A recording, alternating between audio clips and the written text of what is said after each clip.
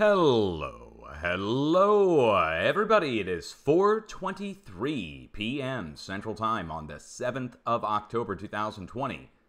It is Wednesday here in the United States and I hope you're doing well. We are here to talk about some seismic events that are taking place and I've got some breaking news for everybody. So we're going to start off the update. A new earthquake swarm has broken out down here on the New Madrid seismic zone. And I'm just going to take you over first to the post that I made on my community page, just letting everybody know what's going on and providing all the links to the earthquakes so far that have taken place with a screenshot of it with an arrow pointing right to the location, which is called Success, Arkansas. Let's just go get one of the quakes. USGS triangulating it from a town called Maynard.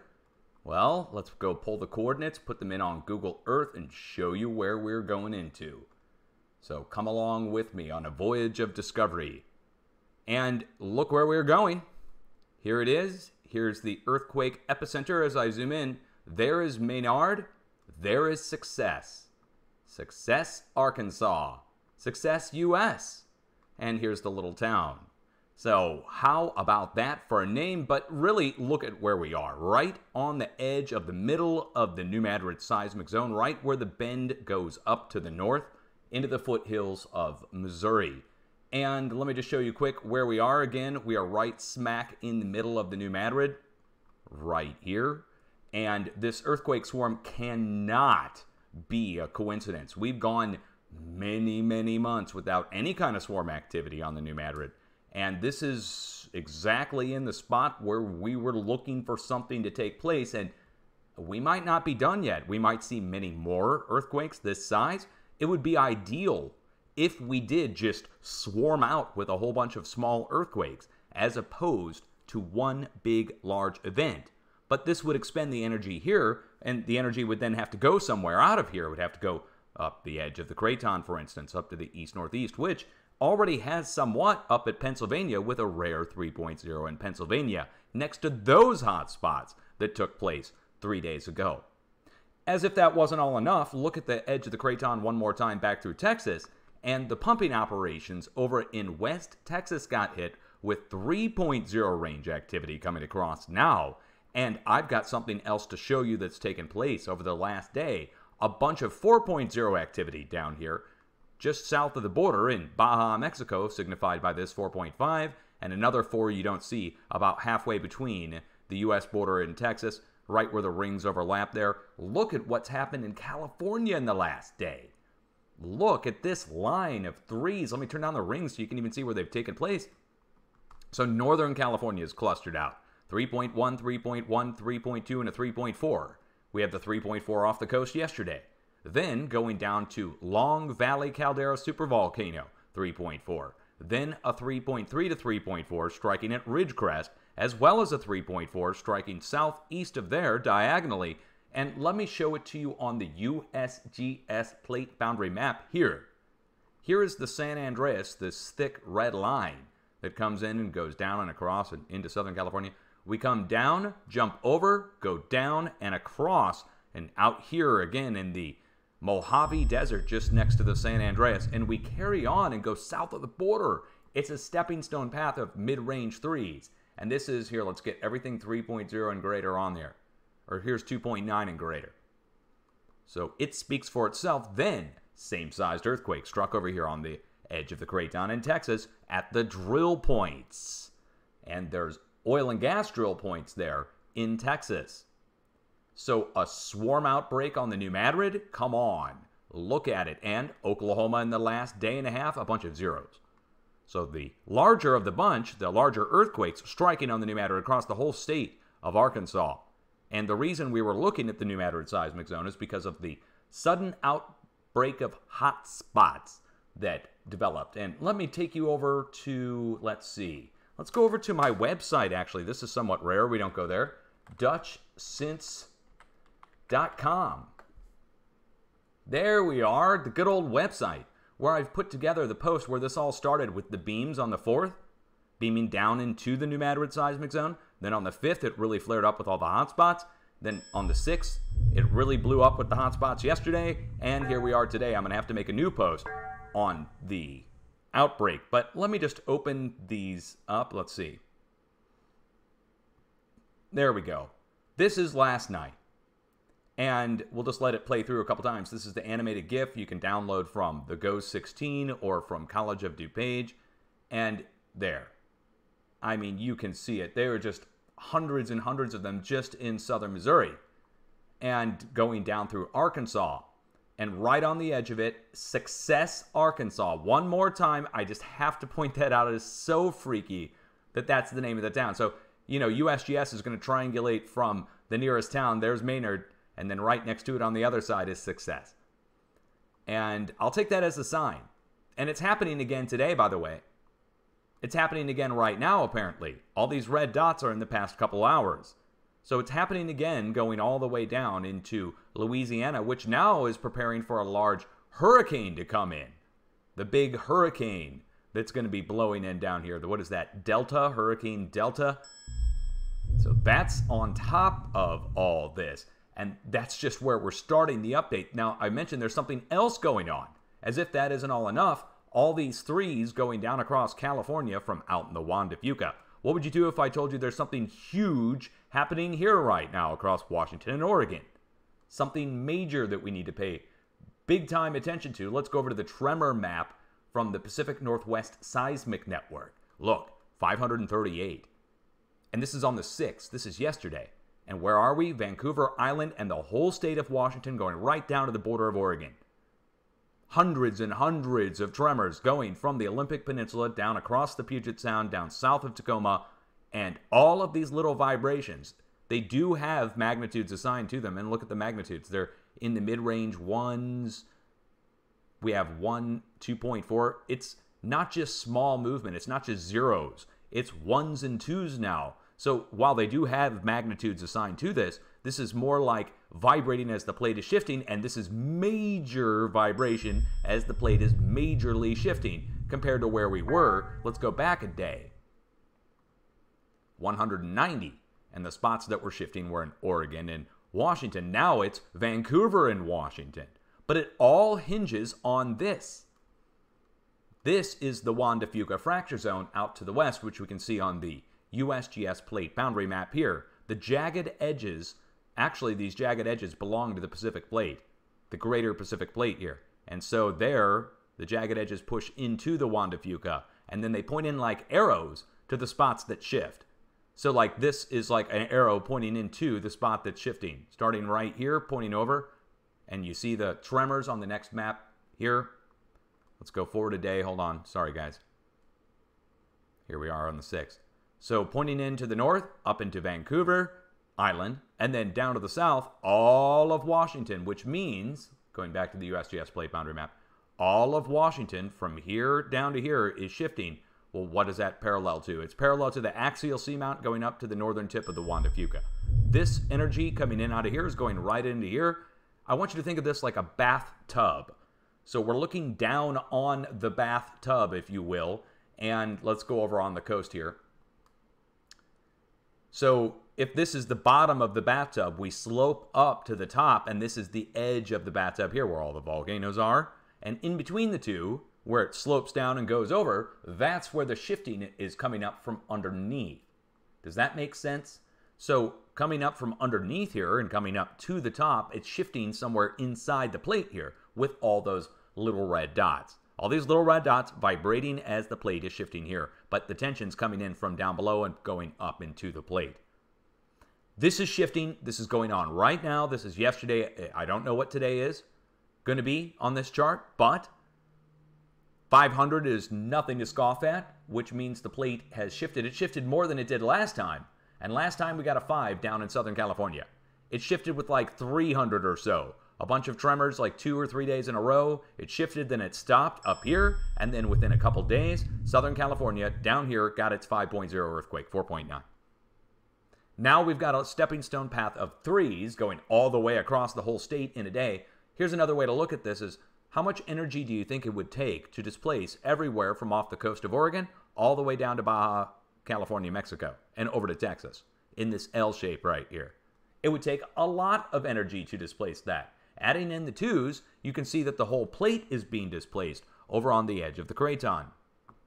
And if the whole plate is being displaced and we're swarming out and we're getting hot spots breaking out along those areas where fires are taking place along those areas and heat is being released, that's what's going on. Nobody can tell me any different now. The hot spots were in the New Madrid seismic zone. They went off in the hundreds, if not thousands of uh, thousands of flares. And then now we have an earthquake swarm there that's rare. We have not seen anything like this, plus a rare earthquake next to the other spots up in Pennsylvania, of all places.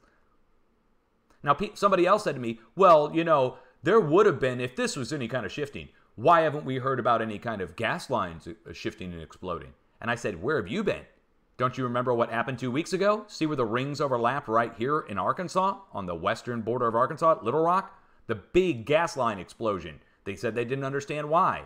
Then another big gas explosion right here in Oklahoma, and another big gas explosion right here in Texas, and then another big gas explosion over here at Dotsero, the only volcano in Colorado, right off I 70 in Colorado. It also blew, and those all blew in the same 24 hour time period or 48 hours. In two days' time, Colorado, Texas, Oklahoma, Arkansas all blew natural gas lines breaking. That was two weeks ago or so. Then this all started to take place. With the beams and everything else, that just adds it in, but this outbreak seals the deal. Anybody who was denying that the hotspots meant anything, you, you are now completely debunked. A, a new earthquake swarm has broken out right in the middle of it. And I can't listen to anybody who is denying something right before our eyes that we've never seen before. Like, you don't have any previous examples to go on if you are a denier. So you have no reason to deny it because you can't say it's farm fields. That's what the USGS said. It's so laughable now, now that an earthquake swarm broke out and the town, Success, Success, Arkansas, is where the town eh, that's next to the swarm. That should be a sign to everybody that something's up here. It's not me that I'm just showing you what we're finding, and anybody who's in denial about that, I'm sorry, but we can't listen to you anymore. It's just not credible. It's not wise. Scientifically speaking, I just can't do it. I have to go where we go and find what we find, and if it conflicts with something I previously thought or something somebody said couldn't be done, I just have to throw out what those people said or what I thought and just go with it because what I'm finding over and over again fracking earthquakes, same thing. I showed the fracking locations 2010 Everyone denied it, including professionals. USGS had a thing on their site saying that fracking could not cause earthquakes of any significant size. And then a bunch of fours and fives hit. They had to change all that. But at the time, everybody was in denial about fracking earthquakes. Same for HAARP and weather modification. They said it couldn't be done. U.S. Air Force came out said, oh, we don't know what you're, um, don't know what you're talking about. And then we found the 1997 test technology symposiums from the U.S. Air Force, from Philip A. Barnes and uh, the laboratory there, and uh, talking specifically using HAARP, using for, for weather modification. They said the same thing about HAARP rings that I discovered, with radar pulses that were pulsing out and sucking in storms to the center of the pulses. They said I was faking it first, then they said I was wrong. Well, we found the U.S. Army experiments from 2011 using HAARP up in Alaska to create the rings, which become reflective and it reflects on radar, and thus you can see the ring on radar. But the reflection's plasma that's created from heating in the atmosphere and ionosphere. It's crazy. But there it is. We found that. We've proved each point. Uh, professionals denied that earthquakes were going across the edge of the craton, said it was random. Then they accused me of faking earthquakes until I put out Earthquake 3D links where everybody could follow along.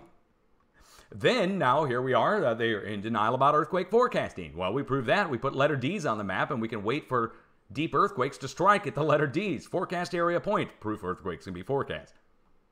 That's just one proof. But it turns out most of the things that the professionals and people denied were things that I just needed to prove and that they had previously said were not possible, which then precludes them from ever getting into a debate over it because they've already made a declaratory statement about it not being something without offering proof. In other words, they made up an excuse and did not offer proof for their belief, and then you come along and find it and they deny it because they don't want to admit they were wrong. Sound familiar? Telescope, anybody? Galileo? You know the you know what the difference between Galileo and me is? Galileo is much more well educated and much better dressed. But thanks to COVID, now we're both we're both prisoners in our own home. Okay, that's a joke, right? Okay, now that should lighten it up a little bit for a second. So the earthquake swarm that's taking place here on the New Madrid seismic zone. Well, there's no large earthquake yet to accompany this. So if this carries on, and it keeps going and keeps going, and we do not see anything develop out up here to the east northeast anymore, well, then that can lead to a large earthquake, I think. A larger earthquake. Now, if this goes and goes and goes, and then it goes up to the northeast, that's good. We want to see it escape out and go out the edge of the craton and dissipate. The longer it's stuck there, the worse it could get. Now, there's still hot spots appearing there today. To top it all off, there are still hot spots there today. As a matter of fact, let's just go look it up. Let's go take a look at the hot spots today. Can't deny it anymore. Anyone, no one can deny anymore. Farmers burning their fields. What a joke. And, and again, I mean, uh, that's just going to be a knee jerk denial that prevents people from looking into it. That's not scientific. Oh, yeah, here's today, right now. This is current. Wow, there's even more. Guys, there's even more today.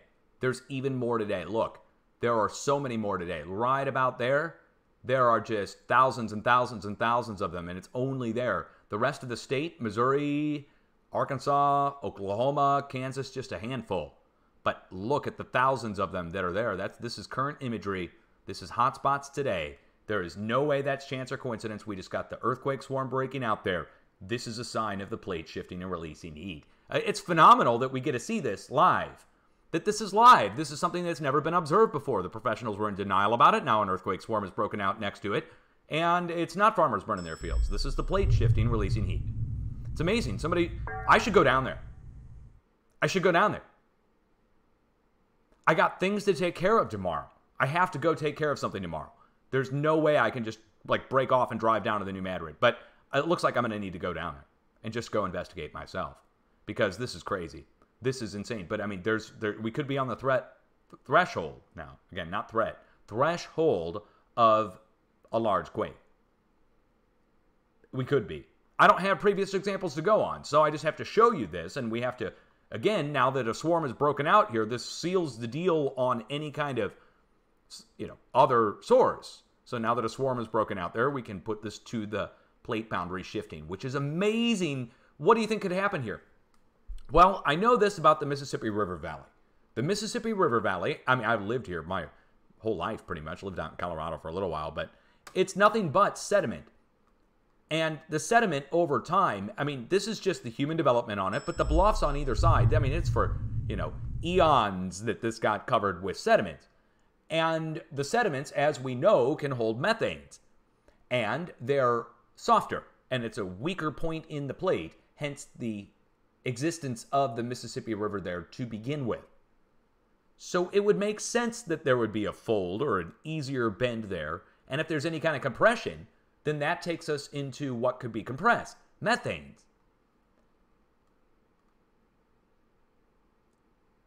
But this speaks for itself. The earthquake swarm taking place right here next to the biggest point of the hotspot outbreak, down at about 8 kilometers depth. So it's lighting up like a Christmas tree. I'm glad I'm checking it again today. Let's go over and look at the particle size near infrared. Now this, this is just going to look slightly different. It'll just, they should be flickering in a whitish color. Let me make sure that you guys have got this all on the screen. Yeah, you can still see them. Wow. Let's go look at the smoke. Some of these caused fires yesterday. Actual fires broke out on these. What I think is that it's just going to show up as heat, a burst of heat, and then if there's something to ignite, it'll ignite it. Yeah, look look look at this. You can see some smoke. Well, we have to look at it a different way. Let's turn on the day cloud phase. This will show up as little green puffs of where the smoke is. Yeah, I'm not it can't be farmers farmers don't cause earthquakes. Look at how many there are. Look at that. So some of them are causing fires. Some of them are causing fires and some are not. Because there's thousands of hotspots, but only hundreds of fires. But it's definitely starting to do some kind of smoking. And some of them are getting big. But it's all flaring off at once. That's something else that we know again. That either Mother Nature is going to compress on this. I think the sun might be playing into it too. This gets into other studies entirely. I found a channel several years ago. I don't know if they're still around. I don't remember the name of it really, but it was on YouTube, and they were keeping track of the volcano at, in Japan called Sakurajima volcano every day, and they had a timer where they would start a timer at sunrise, the marked sunrise for the day in Japan. And then they would keep track as the sun went over till sunset. And they, they did it at night too, but they kept track and they found a correlation between the time where the sun was rising and by the time the sun was over at a certain point every day, the volcano would erupt. And it was day after day after day after day like that.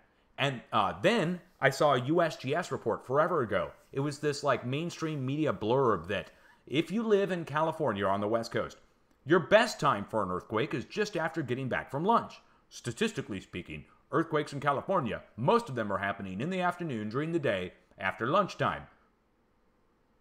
And so that channel talking about that when the sun is open. Now, how could that happen? Photons from the sun, quarks from the sun, but photons from the sun especially. I think the photons can come down and convert to piezoelectric energy, go into the crust. It would explain the volcano eruptions happening during the day. It would explain a lot of the large earthquakes during the day. I mean, they happen at night too, but usually those are antipode quakes, aren't they? The opposite sides of the planet. So people are saying, how can this only happen during the day? Well, right now, this is happening during the day. We saw this happen on the West Coast at night, and this actually went into the nighttime last night after sunset. So it's not just the sun. I'm, I'm just pointing that out too, that this is just something that's happening. In this case, it's happening during the day, the past few days. But we've seen this go this goes into the night and it really carries on all night. So it's and that's something else that if it was some kind of burns that were going on, that they would carry on all all night. You, you wouldn't just go out. And many of these are, you know, showing up, I'd say a couple acres wide, several acres wide burst of heat. Now, at the epicenter where the heat's coming up, I would wonder what's going on. That's why I almost want to go down there and check it out in southern Missouri, just to see. You know, is it is it over an area that's not huge? Is it causing fire coming out of the ground? Is it a burst of heat that then ignites maybe something that's dry nearby? Can I detect it on my own? I've got my own IR thermometers, a digital kind. I could take those with a laser on it that I can go out at a distance and measure, you know, up to 100 feet away. These are all things that I wouldn't be the only person that would want to do at this point. Now that an earthquake swarm has broken out there, I would expect we're going to see some USGS trucks driving around there, Department of Interior and everybody else, all kinds of universities and everything. Why wouldn't they? They'd be remiss and foolish not to. As a matter of fact, if I'm going to go down there, I would expect that I'd probably see them down there. Maybe I should put my own little tags on my truck and get a, a magnet to put on the side or something. But it's spread over into Illinois. It's going down across Arkansas. It's not really happening anywhere else in any other state except for going down into Louisiana Bayou next to the oil pumping operations. To top it all off, I haven't even looked up in the Northwest, but we're on the edge of the Craton in Colorado. Craton Edge goes right through Colorado, Wyoming, New Mexico, and look what's happening in central North Colorado. Directly on the edge of the Craton. Bunch of fires going up into the Medicine Bow Mountains there. Out on the West Coast, I just want to go see. I want to go see if there's anything going on in Washington and in Idaho again because now all of this is shifting and you guys remember what's happened in the past 2 days in northwest Idaho. It looks like it's going on again right now. Hold on. Here's this morning. Last night, you'll know sunrise in a second when it gets a little darker on the screen here. Again, this is shortwave infrared. So nothing going on up here. Now our shifting starts taking place today yesterday and today. And, oh, look at this. Look across Idaho and into Oregon again. Look at that. Wow. Did you guys hear about the explosion in Idaho? Some sugar plant exploded. Massive explosion. Four people either killed or four people majorly injured. Some kind of explosion happened, knocked out their power there. They blamed it on a sugar beet plant. Could be. But look at this. Look at that. Wow. Well, it's doing the same thing on the edge of the Craton in the northwest. One more time, the Craton edge, guys. Goes right up through Idaho, right up into South Canada. But the spot where this is happening, it's right on the edge in between Idaho and Montana. And all these hotspots clustered out right there. And it's going across the border, by the way. It's going down here into Oregon and up here into Washington. But only there.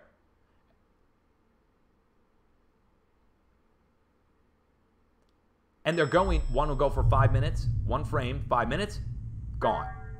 Look, 20, October 7, 2020 at 200617 UTC. And then move forward to 2011, it's gone. So in five minutes later, that black splotch, gone. Couple acre wide burst of heat, poof, gone. Then a couple more happen. Each one's five minute frame here, guys. So each one's going five or 10 minutes. That rules out, it's like a bubbling pot where the bubbles come up and burst at the surface. That's what it's like. That's what it looks like. And I can't come up with any other explanation for this except for earthquake activity accompanies with these hotspot releases. It's now happened deliberately by Mother Nature several times.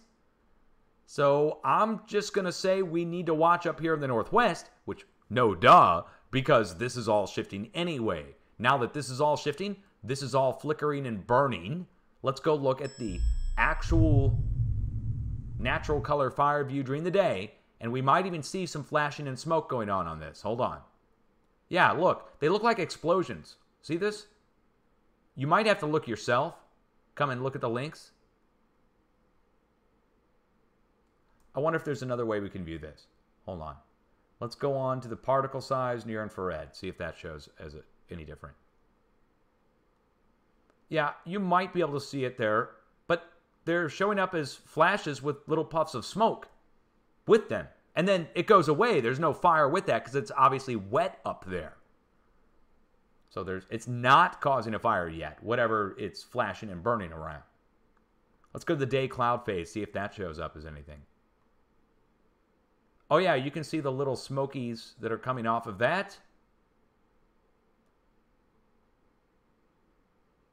Wow.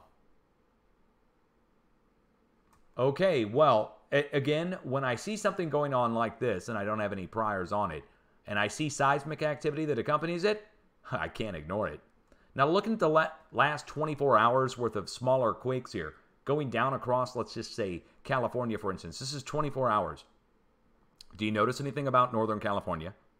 There are stacks of earthquakes now making a diagonal line from here down to here. And starting up here on the northwest side, let me show you where we're coming out of. See where this line of orange dots is? That's the San Andreas.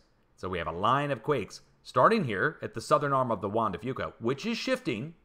Just showed that to you one more time. Let's show it to you again. Shifting here with the hundreds of tremors up here on the north side of the Juan de Fuca, up here. And down here, like an emptying bucket going down to the south, but we stop right next to the Bay Area with a swarm. So going down the arm of the San Andreas, we stop with a swarm there. Cobb, California, interesting because whichever earthquake you click on might take you to a different destination, like the geysers. They're right next to each other. The geysers of California is where this swarm is, and it's a volcano that humans have drilled into. So we go from the Juan de Fuca and then we go down to the geysers. Here we are. Geyser Peak Volcano, Clear Lake volcanoes where they drilled into to get the steam for these turbines that are at the location that are all over the hillsides and down at the bottoms too pipelines to drill points. Those p- drill points go down a few hundred feet to get the steam. Once we go across the Bay Area, we're south of Mount Diablo today. That's different from where we were. We were at Mount Diablo or right next to it. Up to the north, 1.7, 0.9, 0.6. Let's go look up the 1.7, 0.9, and 0.6. Let's pull the 0.9 in the middle. Chester, California, and then we'll look on either side by like five miles. So we'll paste the coordinates in here. This is pretty interesting. This is all happening, guys. The plate's shifting. We got ourselves a real problem going on. Could be a big earthquake in the Midwest. But look where we are. Oh, wait, we've got a hot spot that's there. Brand new. Today, within the last six hours. But really, right next to Maidao again, just south of Mount Lassen, the more famous volcano. But Maidao, how many times have we, be, we been around this? Yesterday, we were right next to Black Butte Cone. Now here we are at Maidao. So both sides of Maidao are moving, and Maidao is just north of Paradise, Paradise, California. Further down to the east by southeast we go, and we're on the San Andreas again. And we dead end with a 1.7. But going back up, you're going to see there's another 1.7. And you go back up here, and we got another 1.7. It's like 1.7, 1.7, 1.7, 1.7. Where do we dead end at? Kolami Cholame. That's how we'd say it in uh, here in Missouri. It's Cholame. But no, it's probably Kolami. Let's get a sip of my drink. Okay. Where are we? We're in the middle of a field. But really, that field is in the middle of the San Andreas, this town called Parkfield. Call themselves the earthquake capital of the world. The earthquakes come down the San Andreas and stop here. Why? Why don't they carry on further down to the south? You see how there's an open gap here? You see how they pick up over on the east side here? To the east? So why do we go down to this point and stop? At this point here, all the way across and down and over, all of this is drilled. Oil and gas. Tens of thousands of drill points. Let's go see if I can find a nearby drill point. Uh, like this right here, for instance. Okay, every one of these little specks on the ground is a different drill point, a different oil well. Do you see that? See how they're connected by pipelines and they go on for miles? It goes through the farm fields on both sides. We have little clusters of them out here. And we go over to the west and there's even more. And we go to the west and there's even more. West by southwest. Uh, right through here. Look at all these tens of thousands of oil wells and gas wells, oil and gas. So that's just right next to the San Andreas. This is the San Andreas, all the drill points, and I do not exaggerate, every single one of these is a drill point, and there's tens of thousands from here to here alone. So our earthquakes come down the San Andreas. Where the drill points really pick up, jumps over, goes down to the east by southeast, due east by southeast at an angle. And that's the trajectory the earthquakes took again. And this happens on a semi daily basis, if not weekly basis. And look what size jumped down to the south 1.8, 1.6. Well, 1.7 and 1.7 was put in. So 1.7, 1.8, about the same size. And it spread across the valley in a diagonal line. USGS announced everything from here down to here and back around in the south tip of the valley is severely subsiding from up here to down here at Bakersfield, where our other tens of thousands of drill points are. This one's huge. Again, that's a massive oil patch, which tens of thousands of drill points. Just at that one, it goes out and down and across. It doesn't stop there. It goes down, around, across, down, around here, back up and across, and this is the San Andreas.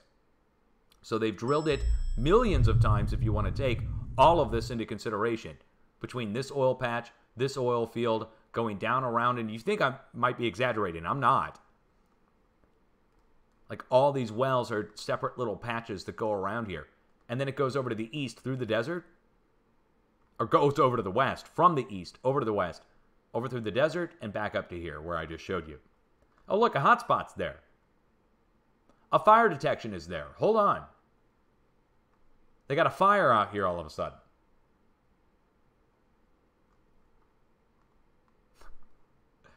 wow. Okay. Well, we got our fire, we got a hotspot out there now. So earthquakes are coming down the San Andreas, jumping over across the valley, and everything from here to here, the USGS announces severely subsiding as they extract the oil. So the earthquakes jump across, and coming down the California Nevada border, we can go back up here to the north and trace our earthquakes back up to the north. So you got to remember a couple days ago, there were fires, hotspots, and earthquakes around this between Lake Tahoe and Pyramid Lake, the supervolcano up here. This giant oval shape between Lake Tahoe and Pyramid Lake. That's where the energy came from. We had fires, hotspots, earthquakes around this thing. And on both sides of it, we've got Steamboat Springs volcano to the south, right here. And on the north side of this, we've got the Needles at Pyramid Lake, the geothermal field and fumaroles and pillow lava formations and old buttes. So on both sides of this oval, I've showed it every day almost now for the last four years. And now fires keep breaking out on the inside of it and around it. That's where the energy came from. But you notice there's nothing there now. Now the energy has gone down to the east southeast. We flared back up in the number of earthquakes at Monte Cristo Hills. Let me show you Monte Cristo Hills. Right through here. So, right through here is Monte Cristo. And this is on the Nevada side of the border. A 6.5 earthquake struck here like four and a half months ago. And when that 6.5 struck, a 12 mile long surface fissure fracture formed. And it went east to west. Well, look at the earthquakes. Let me zoom in on them. Look at that. The earthquakes are going the same direction as the surface fissure fracture formed. Around it on both sides, to the north and to the south, a few of the same sized earthquakes. Two 1.7, 1.6, and a 1.5 and 1.2 to the south. Over to the west, same thing, little cluster of earthquakes now. Here, that cluster of earthquakes, just three separate events, is inside this Long Valley supervolcano. And 1,000 cubic kilometers of melt down below, confirming that's a supervolcano. There's still people who debate me on that. They're like, I didn't know there was a supervolcano at the California Nevada border. You're just doing this for views. I'm like, what are you talking about? You don't know? Guess they didn't teach you. But anyway, go look it up if you want to. Small earthquake striking inside of this caldera on the west side fires. Now, that's going to become something very common as we go further down to the south because down here, where our other earthquakes are, look, see this 1.8? Let me go pull the coordinates on this. See where it says Kernville, California, at a 12 kilometer depth? Now, remember what I just told you also about the energy coming down across the San Andreas, jumping off, and the full force of whatever's coming out of the San Andreas jumps over and goes into here. Same time, energy is coming down from this way. And again, it's making a path. You can see it. There's a diagonal line of quakes going across Nevada, right? You see that, right? You can connect it, connect the dots through them all. Same thing down California's coast. Diagonal line northwest to southeast. Goes down to Parkfield, and it all focuses right in here. Well, it doesn't stop there, though. It carries on down to here, but so it's focusing in right here. Like I said, let's pull the 1.8 Go pull the coordinates and see what's at the location. It's important to do this. This is how I figured everything out so far. Just looking stuff up. There, there's the earthquake epicenter. So, notice anything nearby? Over to the east, we've got a volcanic field where all the other earthquakes are. See, 1.8 over to the east. But, going back to Google Earth, this, this oval shape Golden Trout Creek and Red Hill Volcano, two the same size and shape volcanoes up here. Then we get over here and we have Templeton Mountain and we have Monash Mountain, two of the same size and shape volcanoes, and then Brown Mountain in between, but they make a crescent shape. Then, going over to the west, we go over to Soda Butte, and I'll back it out. This crescent shape goes over and around and across this way. That's what, three quarters or half of a crescent so far? Then you see this, maybe, one of my viewers pointed this out to me in chat as I was showing this. They said, Well, what's with the circle on the bottom side of there? I said, Man, didn't see that. Good, good eye. And that completes the southern arm of this. This would be a laccolith, the circular shape. The bulge would be a laccolith from rising magma, and there's obviously a fault that goes through here, hence the fold and the bend and the rivers there. Now look what's on the west side. Hot spots, right? So, oval shape this size, lined with volcanoes, hit with earthquakes, and hotspots on the side of. Sound familiar? Because that's just what I was showing you here. Oval shape, lined with volcanoes, hit with earthquakes, hotspots on the side, west side, and up here. Oval shape, lined with volcanoes, hit with earthquakes, and hotspots on the west side. Now, that one is new, but last week, all across here. So, what, what are they? Well, something else that I found here that I just have to show everybody again are these bulging laccoliths, these circular formations here on the eastern side of the Valley of California that could be leading to the fires to begin with. Here's the valley, eastern side, and look at what I found. These. Now, let me give it a good spin so you can see it. Or you just have to have a good eye to look at it. It's not an impact crater from a meteorite, guys. Okay, this is a bulging laccolith. And the way I know that is the supervolcano on the side of here that you just don't know about. Now, up to the north, there's another one. So that's not the only one. Shaver Lake, right here. And I will show you a similar feature, but let me zoom in and show it to you. Do you see this bend light? It almost looks like it's flowing. Let me back that out. See that it's covered in trees. You can see three quarters of it. It goes back around this way, and Shaver Lake's up at the top, and hot spots around it, right? Now look up here. Look at this one. This one's a little bigger, but I again I can just give it a spin. Should be able to see it. Right? Or let me get it more at the center. Hold on. There we go. Give it a spin. There we are. So that's a bulging laccolith too. And laccoliths happen when there's a intrusion of magma deep down in the plate that pushes the crust up but doesn't fully erupt. And I'm thinking there's probably more up to the north, maybe. I would have to inspect more, but three is enough, wouldn't you say? Now let's go back down to Shaver Lake here really quick. This one. Here's Shaver Lake, and let me bring it at an angle. Look at all the hot spots there. And it's here's the super volcano, by the way. Super volcano on this side, and Shaver Lake on this side. And now you might be able to see this a little bit better. Do you see this? Uh, let me twist it a little. Turn it. There. Do you see how that makes at least three quarters or, well, over half of this flow that goes up at the top where it's caved in? Okay, just remember that shape because we have to go over to Iran. A world away.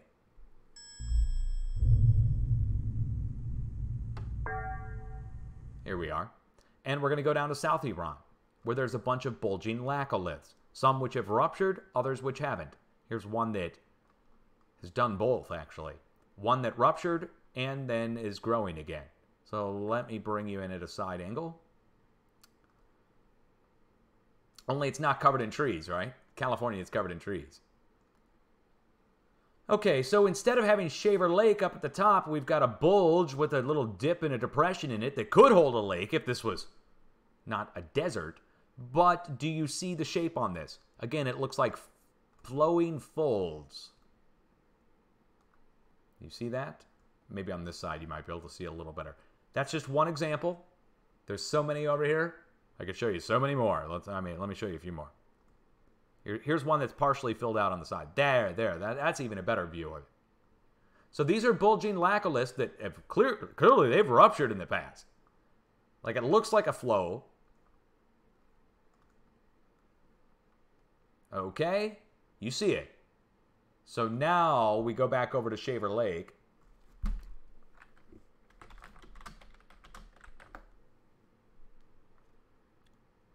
World away. Boom. Go over to Shaver Lake, and there it is. So this thing, that flowing bulge on the edge of a laccolith, and then the other two just sealed the deal. I mean, the other two just really show it to us. So this one again right here, it has actually bulged and co- uh, collapsed or compressed, forming the crater and then right next to it all the hotspot signatures and the, the the feeder for it would be the super volcano next to it the crescent shape with all the volcanoes same with this this would be the feeder for this big round one right here this one's huge. But that explains the fires on the east side of the valley wouldn't it? On clear days? How about the earthquakes going right up to it? So let's recap. Lines of earthquakes coming down across California, going down to Parkfield. Jumping off the San Andreas where the drill points at the oil pumping operations start. Picking back up in a diagonal line to the east southeast, down next to what I now know as bulging laccoliths, which really are next to the volcanoes. Up to the north, lines of earthquakes coming in from northern California, again, right next to volcanoes at Maidao. Going down to the east southeast, down to Monte Cristo Hills volcanic buttes and the supervolcano. The only earthquakes I haven't looked up yet are the earthquakes over in Utah and down in South Nevada and all the way up here in Washington. Let's get on it. Let's do it. Let's go look these up. Small earthquakes in South Nevada, Indian Springs, Nevada at 0.2 kilometer depth. Pretty shallow on this. What would you do if I told you there's a nuclear test site at this location, but they're not doing nukes there now? It's surface fracturing. This is Doomtown. The famous Operation Rise Line. You guys may know about it, maybe you don't. Let's turn on the Google Earth community. Go ahead and look it up if you need to. But all the underground surface nuclear test, underground and surface, done here. And look at it. All these craters are different underground nuke test sites. So, for instance, this one, U.S. nuke Operation Onaha Double S, March 30th, 1972, 8 kilotons, just one of many. U.S. nuke Operation Mallet, January 31st, 1968, just 4 kilotons. And I say just because they go up into the thousands of kilotons, megaton. So that's where the earthquakes are here, here, and over on the west side. What about over to the east? We have a swarm going on over in Utah. Let's go look. Okay, Milford, Utah. 0.1 kilometer depth. Again, we're right up at the surface. We got some surface bending going on. The plate is bending at the surface. Hence our hotspots, hence our fires, hence our small earthquake activity at the surface. Put it all together, guys. I mean, we have to put it together ourselves. No professional's going to. They're too worried about being right or wrong. Uh, what's this? Hot Springs. We have a Hot Springs power plant with an earthquake. Look, Roosevelt Hot Springs power plant. Geothermal turbines. Where are they getting it from? How about the unmarked Crater Knoll? Crater Knoll. Look at that name. Hold on, let's get this in an angle. Crater Knoll, unmarked. I guess that just means no Smithsonian. Why would it be? It is marked. Why is it called unmarked? Or I guess it's just unmarked. Maybe they don't have it. It's on the Mineral Mountains Cove Fort volcanic field. But that is. Oh, look. Hey, hold on. We just had some earthquakes down here to the east southeast of this basalt fissure like four days ago. Now we actually have an earthquake swarm breaking out right next to the drill points. And I mean, these are the drill points.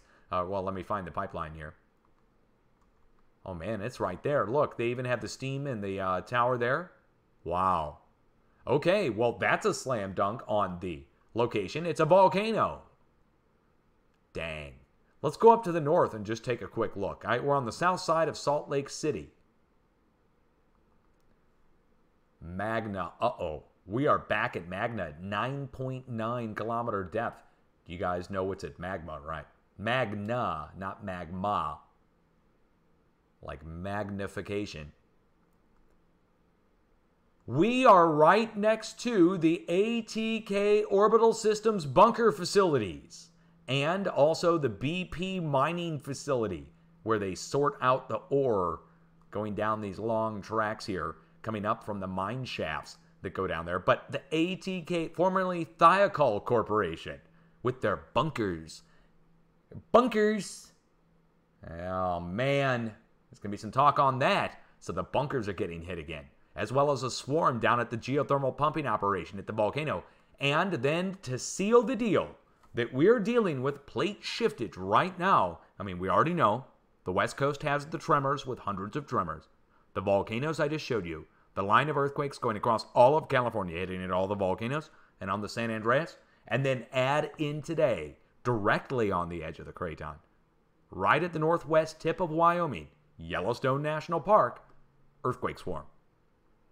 So an earthquake swarm on the New Madrid, 3.0 earthquake down at the Texas pumping operations, connecting earthquakes going back up across Utah at the volcanic drill points, then here. Look at it. West Yellowstone Park directly. There it is. So, West Yellowstone, we are moving in the park at the surface, but this really means the magma chamber for down in uh, down below Yellowstone is 11 Grand Canyons in size and is being perturbed up at the surface. Something else happened over here. There was the explosion at the beet plant. The sugar beet plant exploded here in Idaho. And look at all of our hot spots that are flaring off up here in Idaho, which is above the center part of the deepest point of the 11 Grand Canyon sized magma chamber for Yellowstone that comes up to the surface at Yellowstone Park, but goes down below all of Idaho and goes over into Oregon for the feeder of it. So here's Idaho, here's our hot spots. Center of the magma chamber for Yellowstone is right here, and then it comes up to the surface over at the park where we're swarming with earthquakes. There's one other state I need to cover, and that's up here in Washington. Let's go look up these small earthquakes. We're going to go 37 kilometers south southeast of Morton, Washington. Should ring a bell for any longtime viewers. Morton, Washington. Longtime viewers know, but new viewers, just look at the screen. Look where we're going. We're at the foot or the flank of Mount St. Helens. Lone quake, don't worry, it doesn't mean an eruption yet or anything. But inside of this, there's the rising dome. Ever since the blast in the ni- 1980, it's got a new rising dome. And first the center rises, then the outside edges start to rise, kind of like a circus tent top. So that's where the one earthquake is. Let's go to the north, 23 kilometers east northeast of Ashford, Washington. We're going to do the same thing. We're going to put the coordinates in, but I'm here to tell you there's something there. Just look at the screen. We're going from Mount St. Helens, and we're right up at the crater, right below the crater of Mount Rainier. Very top. Look, very tip top, tippy top of Mount Rainier. And we're inside the volcano with a similar sized quake to what just struck down at Mount St. Helens. So remember, all this is shifting hundreds and hundreds of little red dots and tremors across Vancouver Island and all of the state of Washington. Two of the volcanoes next to it start to shift and tremor as well. Going over to Yellowstone, we start to shift and tremor. In between the two, almost exactly at the middle point, here, a flare off of hotspots takes place, which we can reopen back up and just see if it's still happening right now. Let's do that. Look at all the smoke now from the Colorado fires. But let's go up into the northwest. Here. This is the Idaho border region. Over here on the west side, we have Washington. Here is Oregon. Let me hit play. Okay, there we go. Oh, wait, we need shortwave infrared. There we go. Now let's hit play.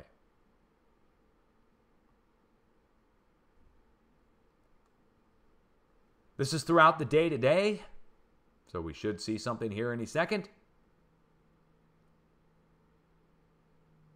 There. Yep. Look at that. So bursts of heat. Here, let me show it to you again if you, if you didn't see that.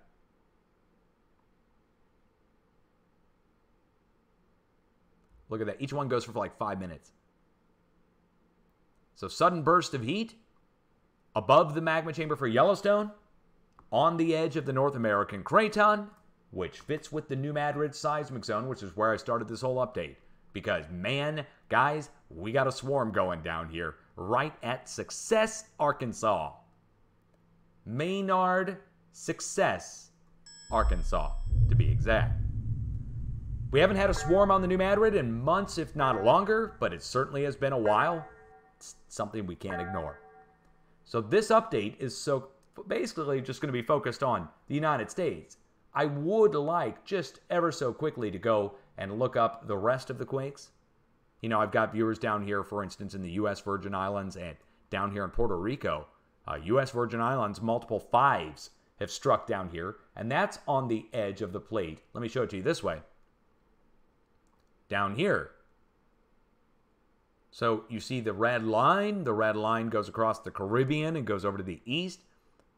So I think North America, look, if you follow this in a, in a trajectory that goes down this way, I think there's tension all the way from the eastern Caribbean back up to the Juan de Fuca. And in the middle, between the two, that's where all of our hotspots and outbreaks. We've also got, to top it all off, we've got Hurricane Delta that's going to be coming in. And as we know, the low pressure systems and the piezoelectric discharge and total electrical discharge that goes from a storm into the ground or the ground into the storm can definitely lead to earthquake activity increase at the location where the storms come in. The low pressure, there it is, by the way. Here, here is the storm right here coming out of Mexico. It's going to be making a curve and go up category three, likely, or category four. Let's hope it dies out, but it's going to be coming into Mississippi and Louisiana where all those hot spots are taking place. It's a lot going on right now. And to end this, to end this, let's go get one more look over in the New Madrid seismic zone. Here's Arkansas, for instance, and let me just bring it halfway through this morning where it's quiet, nothing going on, and watch.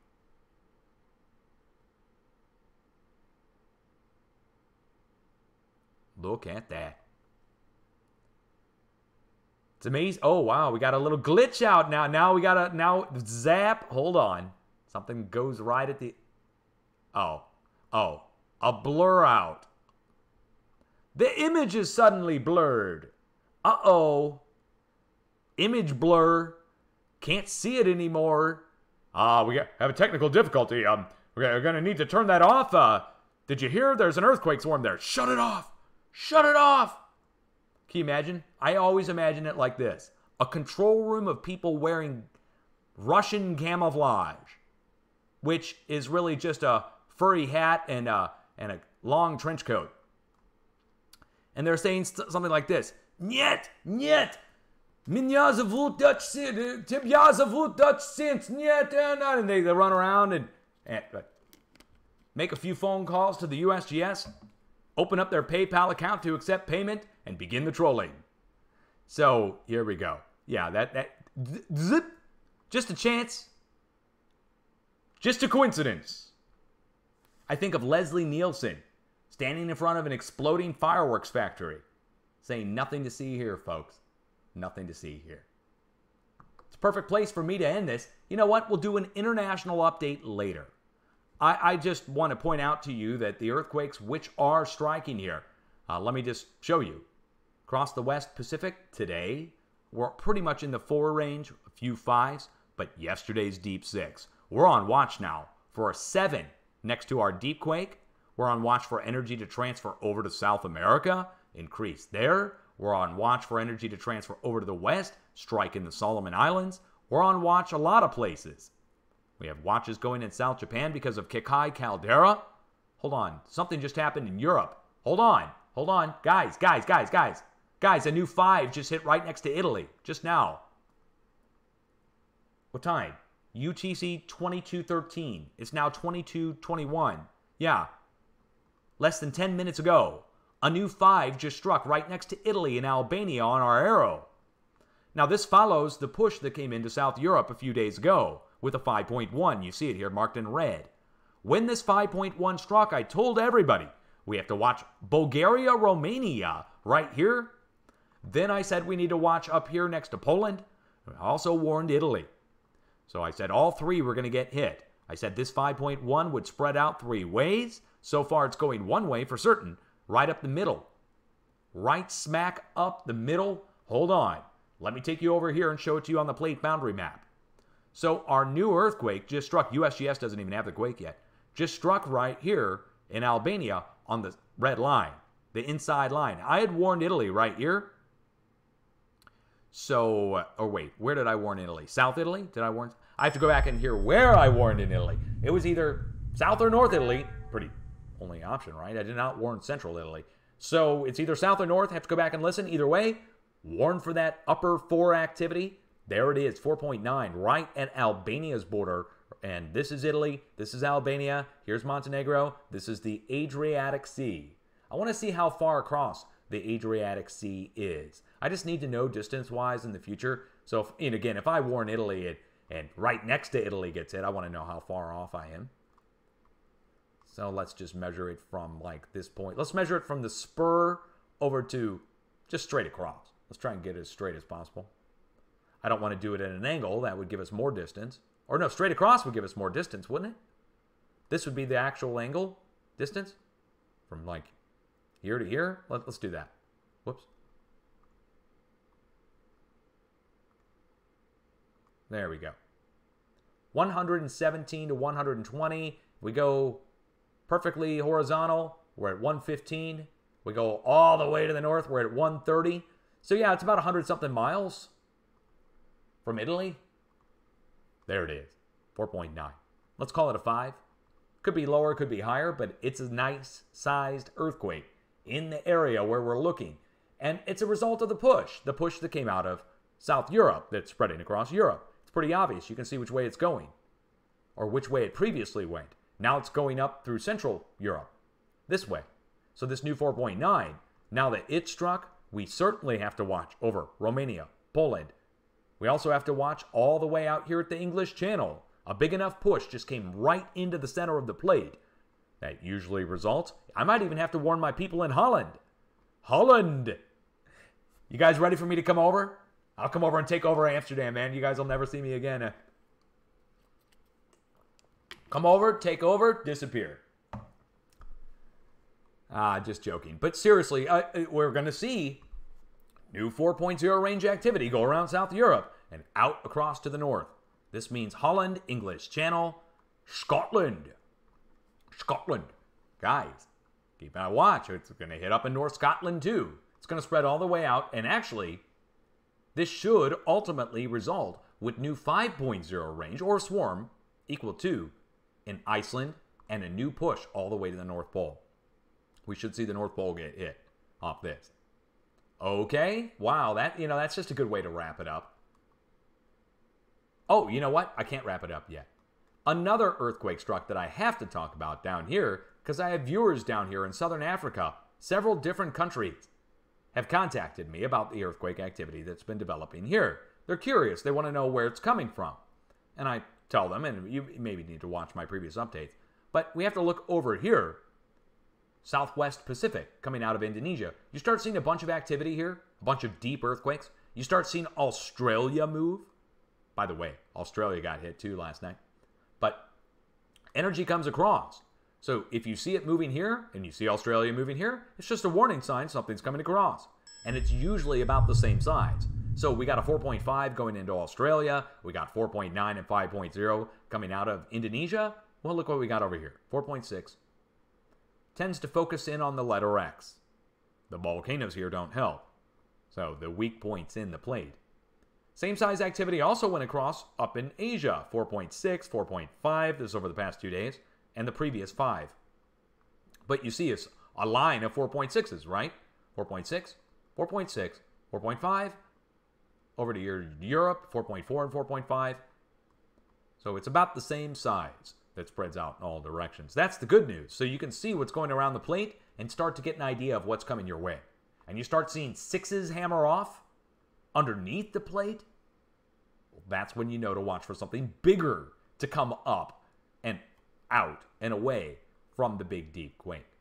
That takes me back to the US. When you see the whole plate moving like this, in the middle of the plate, thousands of hot spots break out on the most famous seismic zone, and all the professionals ignore it and try to come up with an excuse for it. That's sad. That's just sad. I'm, I, I again, that's sad on their part. They make me look golden today. With this earthquake swarm breaking out today, it couldn't have gotten any better when it comes to earthquakes. That it's a swarm, it's not big, it's still a swarm in the spot where we're looking, and nobody gets hurt. But it proves them wrong at the same time. And anybody who ignores it at this point is just ignorant. They're just an ignorant person. They just ignore things.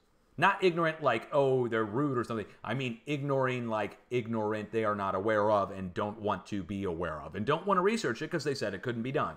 They feel foolish for looking into it because so and so they don't like figured it out or something. And that's just egoish on their part. So if you're a researcher, never make pronounced judgments unless you got good proof to back it up anyway. So if you don't believe something can be done, say it. Say, I don't believe anything can be done. But then you're talking your beliefs. Everybody said, it is Farmer's Field. Oh, really? Well, now we got the earthquake swarm there. Oh, really? You know it is. Well, that, that's a pronouncement based upon something you believe. I said, I don't know what it is, and I think it could lead to a large earthquake. Hope for the best, plan to the wor- plan for the worst. And what happened was somewhere in between the two, an earthquake swarm broke out at the spot directly the next morning. Today. Amazing, man. It's just amazing. My life is the weirdest, the weirdest, strangest event. You know, this happened with HAARP rings, this happened with fracking quakes, this happened with craton quakes. It happened on so many different weird little levels. But I all I do is I look into things. I look into things. If it looks weird to me, I look into it. I'll tell you what I think it is, and I'll follow up either way. I certainly won't dismiss it as chance or coincidence or come up with some lame explanation day one on something and just walk away from it, because that's how you ignore things and don't discover things. This changes everything for fires on the West Coast, especially. The hotspots, the fires, we now have the technology to see the hotspots first. We have the technology to see the earthquakes first, and now we can tie them together.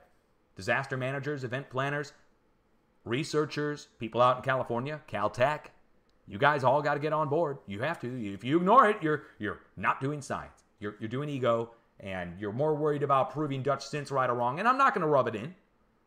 I'm not going to rub it in. I'm not going to try and come and take your job. I'm doing just fine the way I am online. You guys can all do your thing, get your pro thing going, go investigate it, and now you can start to prevent fires because you'll know where to do the forestry more. You'll know where to eliminate the dry materials more so that when these bursts of heat come out of the ground, when the plate starts to shift at times of slow slip in the Pacific Northwest, and you want to talk about getting financing for professionals, man, you want to talk about opening the floodgates for financing, finally tying it all together. The plate shifting, hotspots appearing, earthquakes happening. Man, that's like three disciplines that can overlap right there. And I know there's going to be institutions and companies and government not just our government, but governments around the world, who now, when they see this, can start to understand and do things based upon that.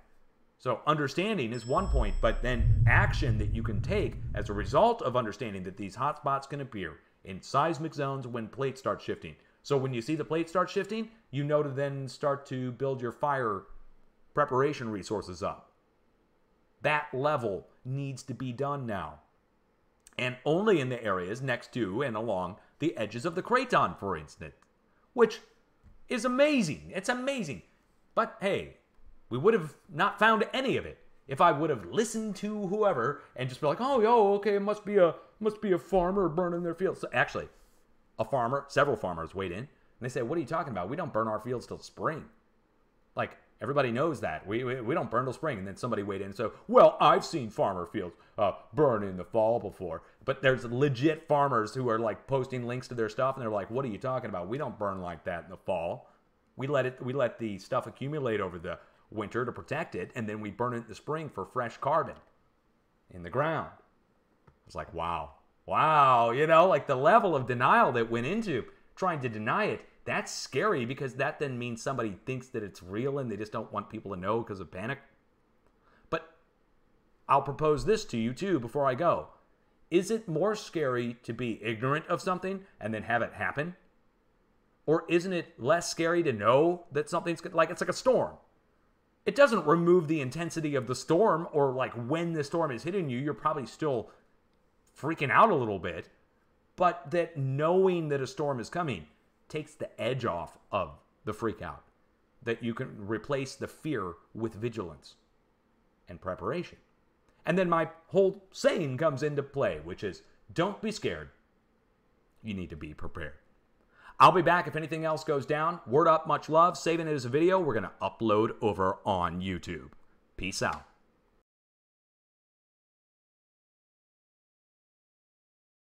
Oh, somebody in chat if we need a place to stay, hey, hey, I'm never going to rule it out, guys. If I have to hit the road and drive across the country, maybe I'll come meet you.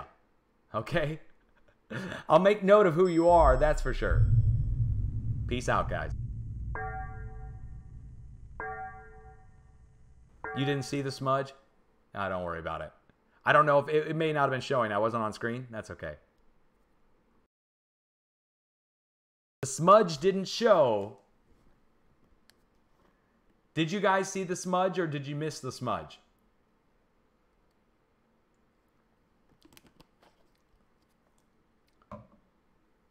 Sorry, I gotta wait for everybody to hear that. You're like 30 seconds behind live, I guess. This is on Twitch Live, by the way. If we're watching on YouTube, you're watching something recorded. You did see the smudge. I saw it, I saw it, I saw it, you saw it. Okay, good. I gotta make sure. oh, guys. Okay, it's been an epic journey. This whole thing has just been absolutely crazy. And again, finding it, you can put it on my resume now. Hotspots, earthquakes, Dutchsinse.